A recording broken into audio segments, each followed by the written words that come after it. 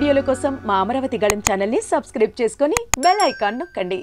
ఏపీలో ఎన్నికల పోలింగ్ సందర్భంగా మాచర్లలో ఈవీఎం ధ్వంసం చేసిన ఘటనలో ఆరోపణలు ఎదుర్కొంటున్న వైసీపీ ఎమ్మెల్యే పిన్నెల్లి రామకృష్ణారెడ్డి భవిష్యత్తు ఎలా ఉండబోతుందో రాష్ట ఎన్నికల ప్రధాన అధికారి ముఖేష్ కుమార్ మీనా తేల్చి చెప్పారు. ఈవీఎం ధ్వంసం ఘటనలో వీడియో ఫుటేజీలో దొరికిన ఆయనపై ఇప్పటికే మూడు చట్టాల ప్రకారం పది సెక్షన్ల కింద కేసులు నమోదు చేశారు.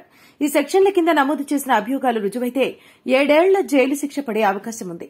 ఈవీఎం ధ్వంసం ఘటనపై ఫిర్యాదు రాగానే ఫుటేజ్ తెప్పించుకుని పిన్నెల్లి రామకృష్ణారెడ్డిపై కేసులు నమోదుకు ఆదేశించిన ఈసీ ఆయన్ను అరెస్టు చేసేందుకు పోలీసుల్ని పంపింది. అయితే పిన్నెల్లి కోసం హైదరాబాద్కు వెళ్ళిన పోలీసులకు ఇంకా ఆయన ఆచూకీ లభించలేదు. ఇప్పటికే పిన్నెల్లిపై ఎయిర్పోర్టులో సైతం లుకౌట్ నోటీసులు కూడా జారీ చేశారు. పిన్నెల్లి అరెస్టు తర్వాత ఆయన కోర్టులో హాజరుపరిచి రిమాండ్కు పంపడం ఖాయంగా కనిపిస్తోంది. ఆ తర్వాత ఏం జరగబోతుందో సీఈఓ ముఖేష్ కుమార్ మీనా వెల్లడించారు.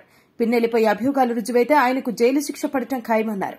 అయితే ఇది రెండేళ్ళు అంతకు మించి ఉంటే మాత్రం ఆయనపై అనర్హత వేటు పడుతుందని తెలిపారు. ఆయన ఈసారి ఎన్నికల్లో గెలిచినా రెండేళ్ళ జైలు శిక్ష పడితే మాత్రం అనర్హత వేటు వేయాల్సి ఉంటుందన్నారు. అదే జరిగితే తిరిగి మాచర్ల నియోజకవర్గంలో ఉప ఎన్నిక నిర్వహించాల్సిన పరిస్థితి ఉంటుందని భావిస్తున్నారు. కాగా ఇటు వైసీపీ నేతలు పిన్నెల్లి ఎపిసోడ్ పైన ఆచితూచి స్పందిస్తున్నారు. పిన్నెల్లి ఈవీఎం ధ్వంసం చేయడానికి ముందు అక్కడ టీడీపీ రిగ్గింగ్కు పాల్పడిందని ఆరోపిస్తున్నారు.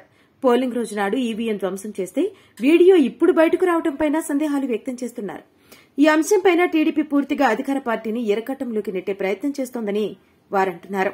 ఇదిలా ఉండగా రాష్టంలో ఇప్పుడు పిన్నెళ్ళి అంశంపైనే చర్చ సాగుతున్న క్రమంలో అసలు పిన్నెళ్ళి ఎక్కడ ఉన్నారు?